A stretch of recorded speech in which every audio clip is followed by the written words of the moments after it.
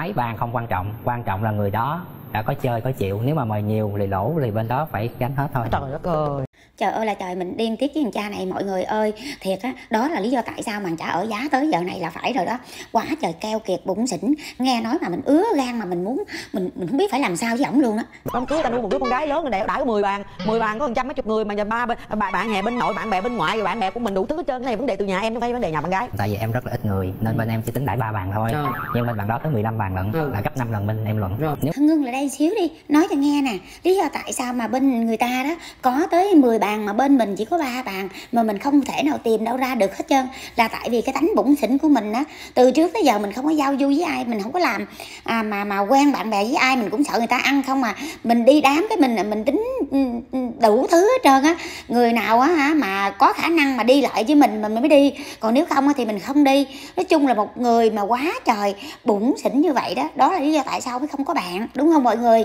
Mà mình không có bạn là chuyện của mình còn người ta có bạn thì là chuyện của người ta. Ổng đãi ba bàn mà bên kia bên vợ đãi á, à, 10 bàn đó ổng nói là áp đảo ổng bá quá cho nên nó là ổng không có chấp nhận và nếu như mà đãi ra lời thì thôi, mà lỗ đó thì bên bên vợ đó phải tự chịu, tại vì mình tự mời cho nên lỗ mình tự chịu. Mọi người thấy cái người đàn ông như vậy đó, có cần phải làm đám cưới với ổng không trời? Bỏ ngay bỏ ngay bỏ ngay mà áp đảo như vậy thì bên nam có cảm thấy nó thoải mái hay không? Vậy thì bên nam mời nhiều lên đi. Em đã cố gắng hết rồi nhưng bên em chỉ có đưa thì em mối quan hệ hạn hẹp quá em bắt nhà gái người ta quan hệ hẹp theo bên em sao được? Đám cưới ta nuôi một đứa con gái lớn rồi đẻ đãi có 10 bàn 10 bàn có trăm mấy chục người mà giờ ba bên bạn bạn hè bên nội bạn bè bên ngoại rồi bạn bè của mình đủ thứ hết trơn. Cái này vấn đề từ nhà em chứ không phải vấn đề nhà bạn gái. Dạ cảm ơn chị đã nói. Chị đã nói luôn được cái cốt lõi rồi đó. Đó, Đó. rồi bây giờ sắp tới đám cưới cũng là ba bàn nữa đúng không? Từ bên em là kiểu gì thì cũng còn bây giờ bạn xí xí mọi người ơi, không phải đây là lần đầu tiên. Nó đó là cái lần, đây là lần thứ hai rồi. Lần đầu tiên đó là người ta đọ đãi 10 bàn ổng cũng không có chịu. Cuối cùng gãy gánh. Rồi bây giờ lần này đó, ổng cũng nói y chang vậy đó. Ổng cũng chỉ có ba bàn thôi à chịu không chịu thôi à.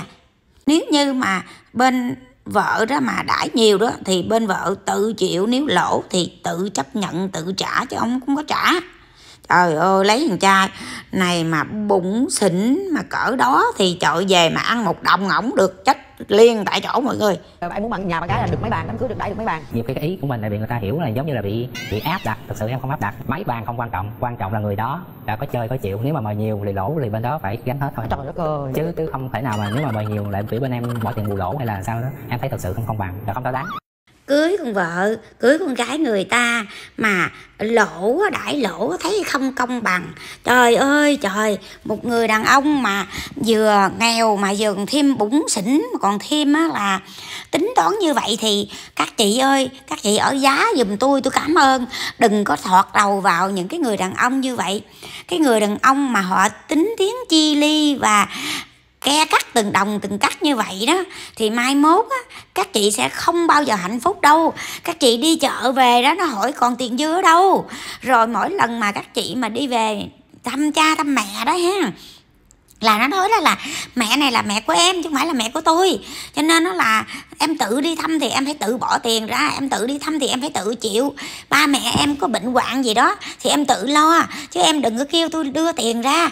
Ôi trời ơi cái người đàn ông này là không thể chấp nhận được rồi. Để ông ở giá giùm tôi. Trời ơi tôi khuyên tất cả mọi người nếu như mà gặp những cái người cái loại mà đàn ông như thế này thì tránh xa giùm tôi ngay lập tức nha. Nghèo không sợ mà nghèo mà sợ cái cái cái kiểu mà à, bụng xỉn ke re từng đồng từng cắt đó mọi người. Đó là mới sợ, chứ không có sợ nghèo nha các anh chị. Trời ơi, người ta cưới con vợ hả? Người ta bỏ ra nhiêu? Mấy trăm triệu kìa, rồi mấy tỷ kìa.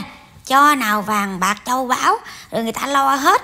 Đám cưới bên trai bên gái gì, người ta lo hết, không cần. Bên gái bỏ ra một đồng nào mà người ta còn cho hàng tỷ tỷ tỷ đồng mang về nữa mà còn chưa có thèm gả nữa. Ai đâu mà gả tới cái người cái người này nhìn thấy là đã biết đó là không có ổn rồi mọi người ơi. Thì có tôi lại các chị nha các chị nào mà mà thấy mà cái cái cái mặt của cái ông này ở đâu đó tránh xa giùm tôi nhớ nhìn kỹ cái mặt của ổng nha. Còn nếu như mà mai mốt á, mà thấy cái cái loại đàn ông mà tính toán chi ly từng đồng từng cắt như vậy đó thì các chị ơi cái này không phải là hà tiện cái này không phải là tiết kiệm mà cái này đó là người ta gọi là bụng xỉn nghe lại cái lời ổng nói nè nha. Tôi hy vọng là cái cô gái trong cái đoạn clip này không có bấm chọn ổng. Chứ mà bấm chọn ổng một cái là là tàn đời luôn. Nghe lại nè, nghe mà bức xúc, dễ sợ luôn mọi người. Nhìn cái mặt con gái người ta nè mọi người. Coi xinh xắn, dễ thương chưa?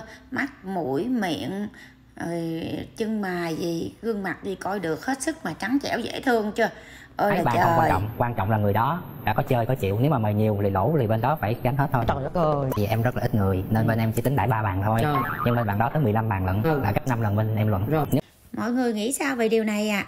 nếu như mà các chị mà gặp cái người đàn ông mà keo kiệt bủn xỉn như vậy đó thì có tiến tới không ạ à? Cho mình biết ý kiến nha. Chứ mình nên là mình chào thua rồi đó, mình nói là không được rồi đó.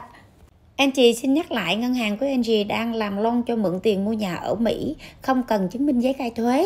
Hơn thế nữa, nếu như anh chị nào đang ở khu Los Angeles của California, thì mình có cái chương trình trợ giúp cho người mua nhà lần đầu tiên cho cái tiền down payment, gọi cho anh chị ở chỗ 626 236 2462